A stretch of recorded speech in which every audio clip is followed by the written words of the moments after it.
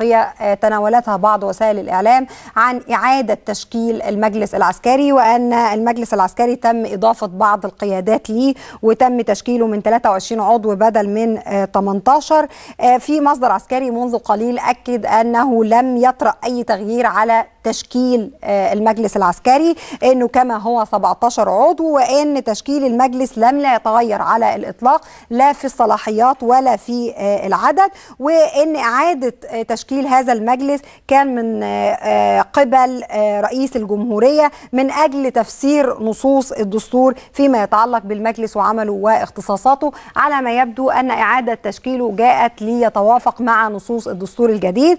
كانت بعض الأنباء كانت قد تحدثت أيضا عن أنه سيرأس المجلس العسكري وزير الدفاع وفي برضه خبير استراتيجي قال منذ قليل أو مصدر عسكري قال منذ قليل أن المجلس العسكري حينما كان يترأسه رئيس الجمهورية فهي رئاسة شرفية. حقيقة التفاصيل المتعلقة بهذه المسألة طبعا أنا عارفة إن أخبار من النوع ده الناس بتهتم بيها جدا لأنها بتربطها بمسألة ترشح المشير عبد الفتاح السيسي بتربطها بشكل واضح ومباشر بترتيبات المرحلة اللاحقة على الانتخابات الرئاسية. عشان كده الناس بتسأل كتير حول أو بتهتم كتير جدا بهذه التفاصيل. أعتقد أن معانا اللواء سامح سيف اليزل لمناقشة هذا الأمر. هنروح له بالتأكيد ل معرفة تفاصيل هذه المسألة. لكن الأمر المتعلق أيضا بمسألة وجود المشير عبد الفتاح السيسي في الوزارة الجديدة التي سيرأسها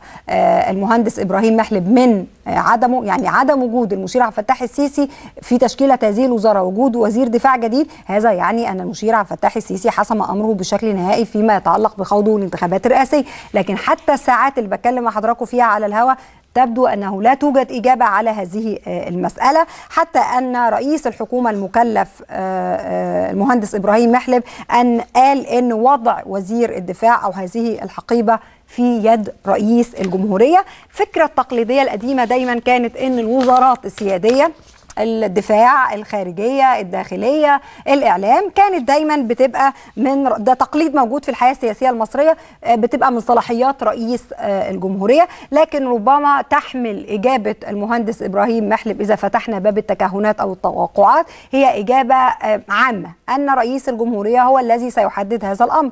هناك من يرى أن هناك انتظار لإقرار قانون الانتخابات الرئاسية حتى يعلن المشير عبد الفتاح السيسي ترشحه للانتخابات الحقيقة المسألة دي بقت مسألة مقلقة لناس كتيرة جدا. الناس عندها وفقا للأنباء إن مؤكد إن المشير عبد الفتاح السيسي سيترشح للانتخابات. لكن تأخر القرار حتى الآن بيخلي البعض يطرح أنه ربما يحمل أمر نوع من المفاجأة.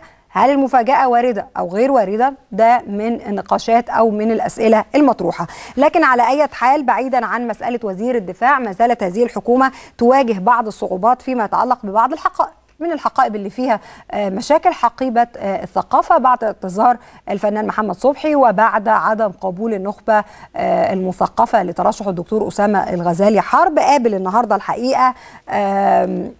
رئيس الوزراء المكلف المهندس إبراهيم محلب عدد من الشخصيات لمحاولة حسم هذه الحقيبة، كان في كمان حقائب لم يتم حسمها بشكل نهائي. هي حقيبة مثلا الصحة، لم يتم الإعلان عن الوزير الذي سيتولى هذا الموقع، وزارة الإسكان نفسها اللي كان بيترأسها المهندس إبراهيم محلب أو معه هذه الحقيبة حتى هذا حتى حتى الساعات الأخيرة لم يتم الإعلان بشكل واضح من سيتولى هذه الحقيبة. عندنا جملة من الحقائب حقيبة الصناعة بعد ترك